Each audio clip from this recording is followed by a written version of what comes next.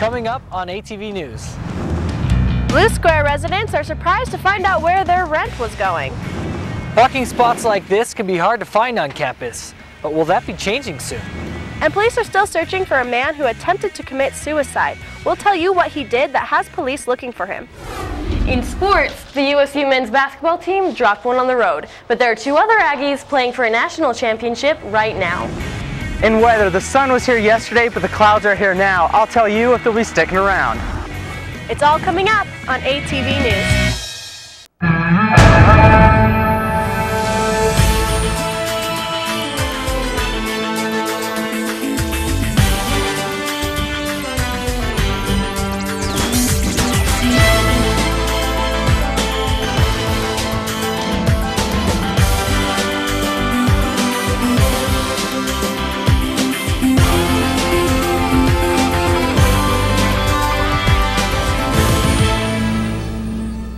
Welcome to ATV News. I'm Brandon Fonda. And I'm Jenna Lynn. Well, we all know that college can be expensive. You have to pay thousands of dollars on tuition, books, food, rent. Well, luckily I don't because I'm married, so Most I people. get a grant. But what if your money wasn't going to any of those things and someone was stealing it? That's exactly what happened at, at Blue Square here on Utah State's campus.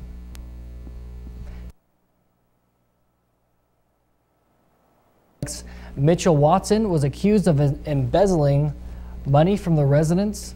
Watson was charged in November with seventh with in November 7th with five counts of perjury, which are all third degree felonies.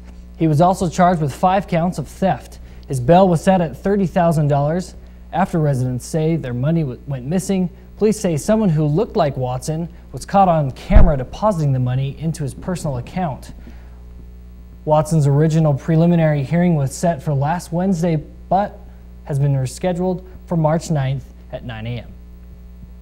Parking on campus can sometimes be tough to find. Our David Matthew Stewart checks out some new changes that you may want to know about. Last week, the USU Parking and Transportation Committee approved a resolution that they hope will lead to a lot more of this. These changes that were voted on um, last week will take place starting July 1st. So in the fall, there'll be a lot of new changes for students coming back to school. The Big Blue Terrace is becoming a 24-hour facility. Until now, many students have avoided paying to park by leaving their car put until the ticket taker left at 10 p.m. However, under the new policy, the terrace will be manned 24 hours a day, 5 days a week, with a fee being charged between 7:30 a.m. Monday and 7 o'clock Friday night. The blue lot just east of the terrace will still drop their gates daily at 7:30 a.m., but now plan to charge until 11 p.m. unless you've purchased a blue pass, in which case you'll be able to come and go as you please after 5 p.m. In the meantime, From 6 to 8 o'clock a.m., students who use the HPER building and the field house will be able to park in the Big Blue Terrace. Frisch Connect also hinted that we may see some new parking available near the Legacy Fields before the Aggie Life and Wellness Center project has finished. I'm not sure how many, I don't know numbers quite yet, but they are aware of this demand that it will increase for parking. Which brings us to the red parking lot, just west of the Merrill Cazier Library, where the old Ag Sci building used to stand. Up until now, the red lot has remained practically deserted at night. However, thanks to the new policy change starting in July, you'll be able to park here free of charge after 5 p.m. If students do have concerns with these things, please, please voice your concerns to us. Make sure your voices are heard. David Matthew Stewart, ATV News. If you have any ideas you would like to share with your student advocates, the USUSA Academic Senate meets Tuesday evenings at 5 p.m. in TSC 336. A whole city block was closed down last week because a man threatened to commit suicide, and police are still searching for him. This is what Chad Laughlin told police. He threatened to use strychnine, a chemical that is deadly when it comes in contact with the eyes or mouth. These photos are from the scene before he was transported to Logan Regional Hospital. A family member came to get him from the hospital, but police say Laughlin assaulted this person and fled. Laughlin is currently on probation for a bomb threat made in 2011 and will return to prison when found. If you have any information on Chad Laughlin and his whereabouts, contact Smithfield Police at 435 753 7555.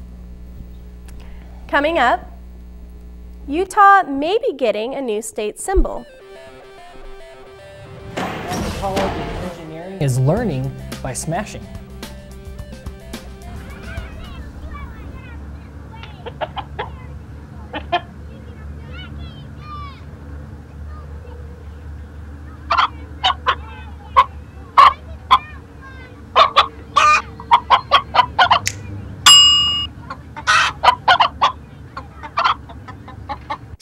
Raw meats from other foods by using different cutting boards. 3,000 Americans will die from food poisoning this year. Keep your family safer. Check your steps at foodsafety.gov. You wouldn't let money just blow out of your house. So when your AC or heater is on, make sure the doors, windows, and fireplace flue are shut tight. If you're headed out, turn down the AC or lower the heat by 10 degrees. And always keep your water heater set at 120. A little bit of common sense goes a long way. Get more great tips at energysaver.gov. Here's your check.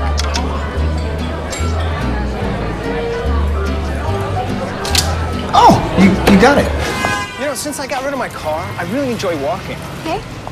Got it. No. Getting pulled over for buzz driving could cost you around $10,000 in fines, legal fees, and increased insurance rates. Oh, you're home early. You live with your mom? That'll set your game back a few years. Buzzed, busted, and broke. Because buzz driving is drunk driving.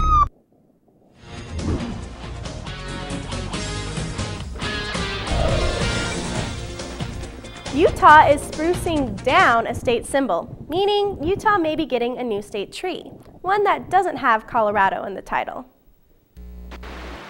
Logan Canyon is filled with aspens, and last week the Senate approved a measure to make the quaking aspen the new state tree.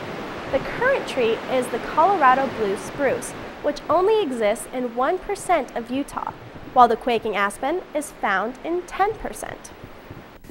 It's not important in the grand scheme of things what tree is the state tree, you know. It's not going to make a huge difference. Uh, Colorado blue spruce, as a lot of people call it, uh, that's just a common name, and we could call it Bob's spruce or green spruce or whatever we wanted. Utah legislator is still deciding whether or not to make the change proposed by the Senate. There are many labs on campus, but only one that gets to smash stuff. The College of Engineering Structure Testing Lab, or SMASH Lab for short, gets to do just that. We show you how smashing can help with creating. The SMASH Lab here at Utah State helps others build bridges by destroying them. Labs such as the SMASH Lab are, are really unique uh, in the ability to, to test um, structural components to failure. Something that this RAM or smasher can do fairly easy. Almost, uh, you know, break anything that uh, that we that we need to. Pushing this button applies thousands of pounds of pressure per second. That's 2,000 pounds right there. Up to 1.2 million pounds of force turning rebar into scrap metal, cement into dust, and bridge beams into broken ones. After this beam is crushed, students analyze the data and then publish it, so other institutions can build better bridges in the future.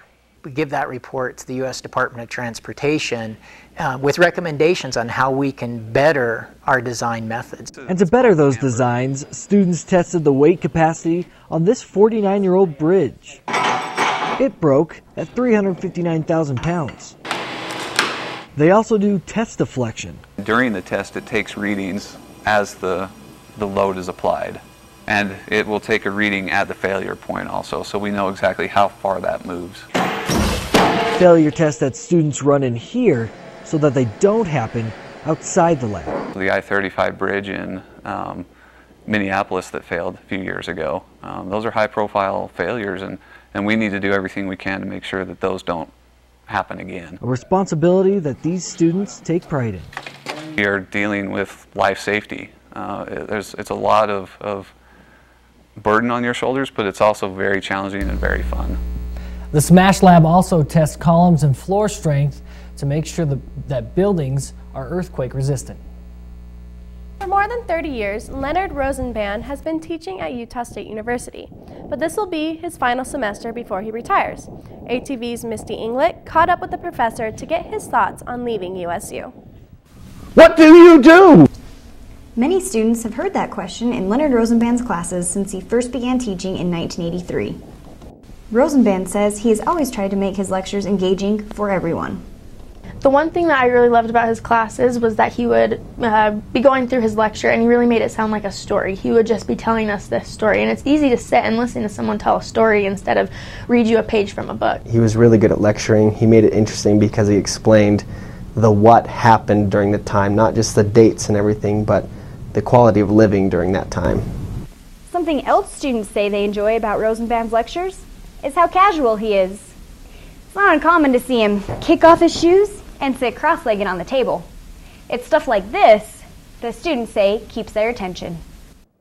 Through these lectures, Rosenband also hopes to show students their potential for success. I have a teaching philosophy. It is simply to get students to achieve at the levels that they actually are capable of, but often fear approaching. This philosophy has led him to become a well-liked professor who many will miss when he retires. I think losing Professor Rosenband is good and bad. Good so he can finally retire, bad that it's losing such a fantastic professor. I tried as hard as I could to help students realize their potential. That's what Rosenband hopes to be remembered for. Misty Inglet, ATV News. Rosenband plans to use his retirement to spend more time with his wife and to write a book. Coming up on ATV News, Jason Borba will have your Cache Valley weather report. The current temperature in Logan is 37 degrees. Need an adventure? The Outdoor Recreation Program at USU offers a wide variety of rental equipment, from winter gear like skis, snowshoes, and snowboards, to summer must-haves like kayaks, rafts, and camping gear. From sleeping bags to Dutch oven necessities, we have it all. So stop in and see us. Located at 950 East, 1000 North, in the basement of the distribution building behind Romney Stadium, we're open Mondays through Fridays, 10 a.m. to 6 p.m. So stop in or call to get your gear today.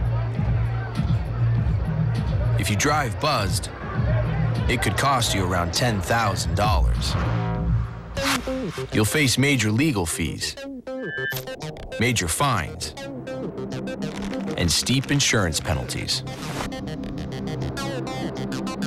You could lose everything. Buzzed, busted, and broke. Because buzz driving is drunk driving. Look at me. Hey.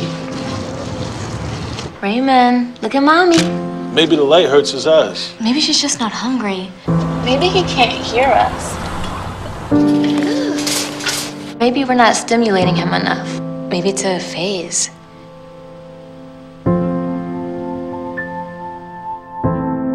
Avoiding eye contact is one early sign of autism. Learn the others today.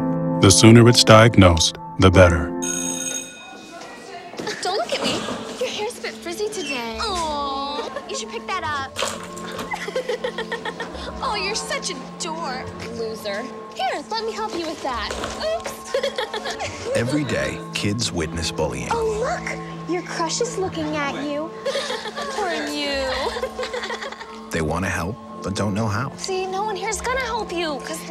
Teach your kids how to be more than a bystander. Visit stopbullying.gov.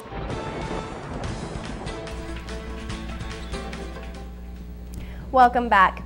All right, Jason. So, I mean, the last couple days were pretty warm, It and was. then today kind of just went downhill. Yeah, yesterday was nice, sunny. Like we weren't wearing jackets. It felt really good. Today it's cold. At least the sun's out. There was supposed to be snow, but uh, maybe we'll see that a little bit later. Let's kick it outside and see what it looks like right now. As you can see, it is nice and sunny. You can't really see many clouds out there. Uh, you see that guy walking on on the quad. It's a good day to be out there. It is a little bit cold, so just keep that jacket on. But other than that, it's looking pretty nice. Let's take a look at our national radar. And there we are. In the east coast, over in the New England area, you can see that they have a, a storm system a little bit. They're getting some precipitation in the mix of like rain and snow, so it's not too pleasant over there. Over here on the west coast, Oregon and Washington are uh, getting some storms also. California is looking pretty clear right now. Over here in the Maine, in the Great Plains, they have some tornado warnings for tonight.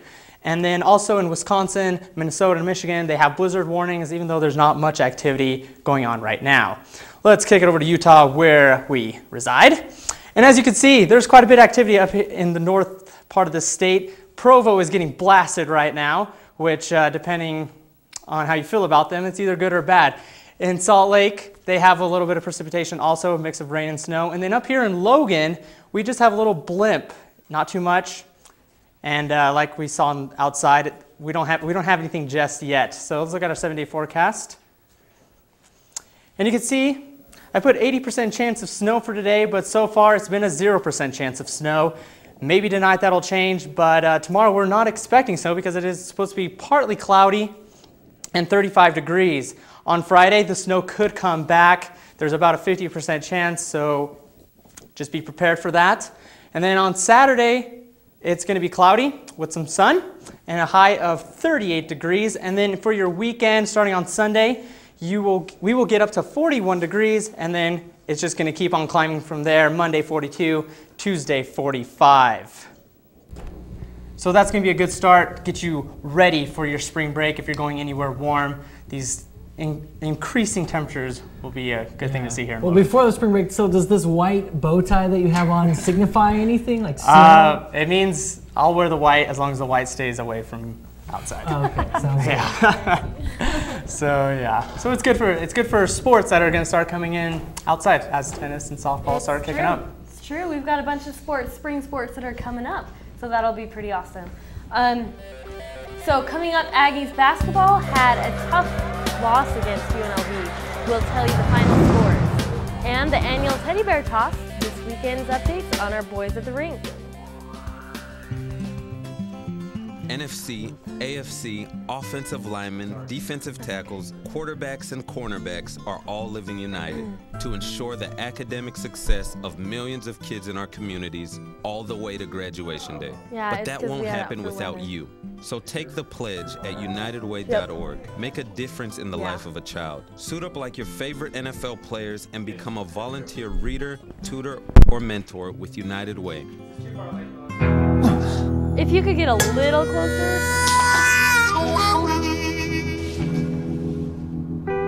Get caught buzz driving, and you could do some hard time. Craig, knock it off. Sorry, Mom. It could cost you around $10,000 in fines, legal fees, and increased insurance rates. And that could set you back a few years. Buzzed, busted, and broke. Because buzz driving is drunk driving. Looking for these? You drive buzzed, it could be one very expensive ride. First, you gotta make bail. Then pay me to get your car back. Your insurance premiums will go through the roof. And my legal fees just keep adding up. All told, it could end up costing you $10,000. Buzzed, busted, and broke. Because buzz driving is drunk driving.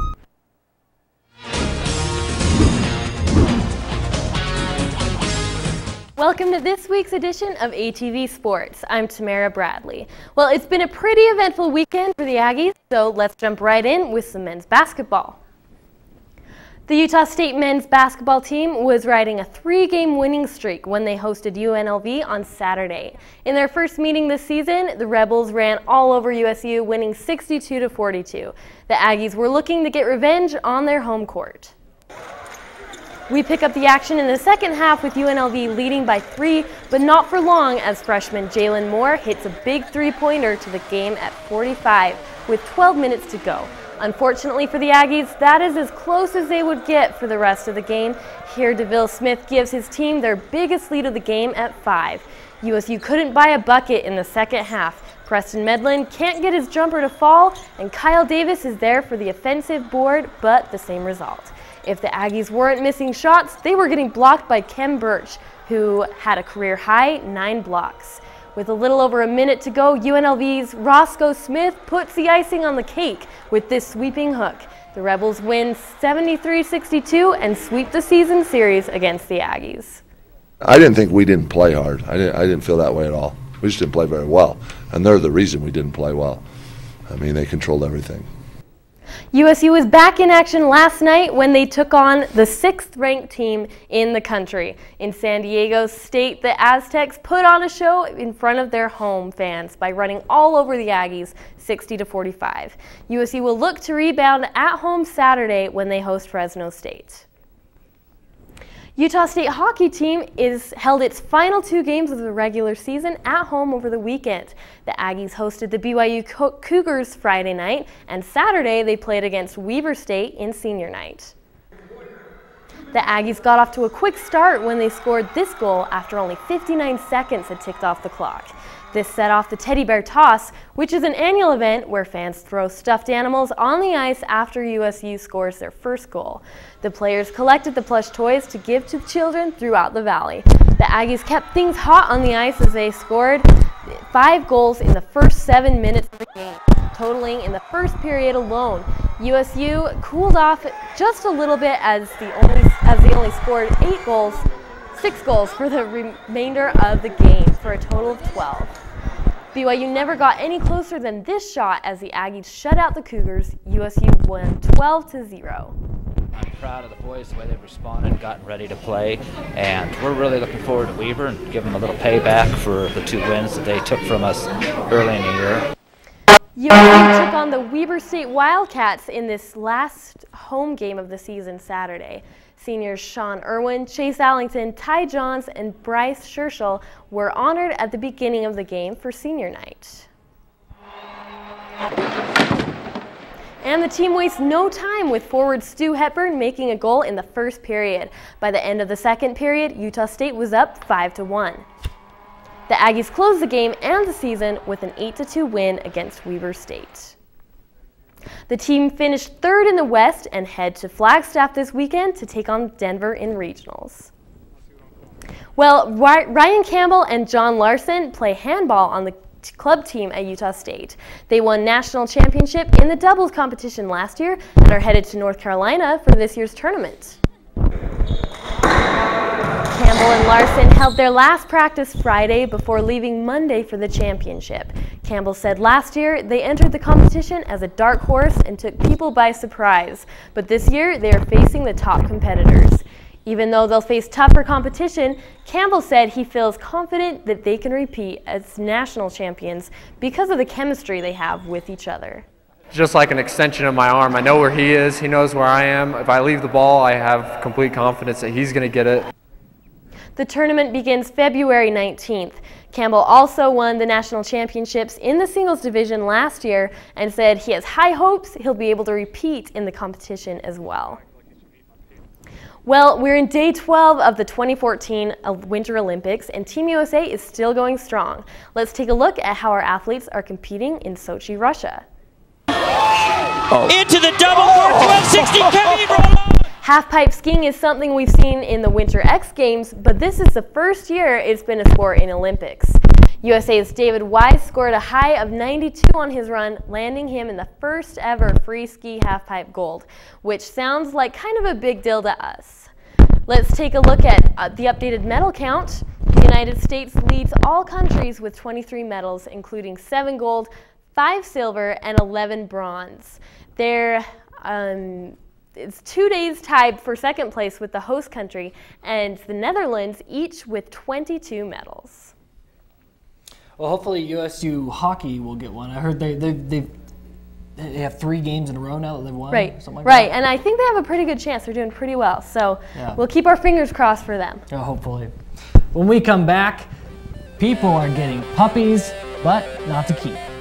And an Olympic sport is making its way to USU's campus. GED Pep Talk Center. We have pep talkers standing by to get you motivated for your GED diploma. Text the name Terry to 69222 for a sympathetic pep talk. You show people what you really are. Or for a gentle pep talk, text the name Deborah. You know you're going to make people very proud of you. And if that's not enough, text the name Danny for an extreme pep talk. Prove everyone wrong. Show them you're the boss. Get your GED pep talk and find free GED classes. Text the name of the person you want a pep talk from to 69222. Everybody has a dream.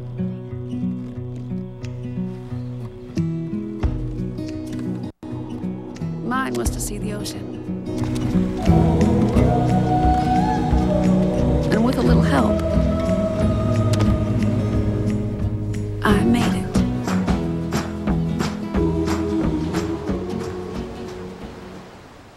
Need an adventure? The Outdoor Recreation Program at USU offers a wide variety of rental equipment, from winter gear like skis, snowshoes, and snowboards, to summer must-haves like kayaks, rafts, and camping gear. From sleeping bags to Dutch oven necessities, we have it all. So stop in and see us. Located at 950 East, 1000 North, in the basement of the distribution building behind Romney Stadium, we're open Mondays through Fridays, 10 a.m. to 6 p.m. So stop in or call to get your gear today.